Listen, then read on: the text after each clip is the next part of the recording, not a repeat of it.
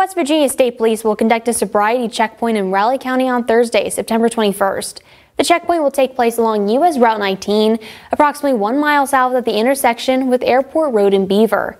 The purpose of the checkpoint is to, is to deter impaired driving and educate the public on the dangers of driving while under the influence.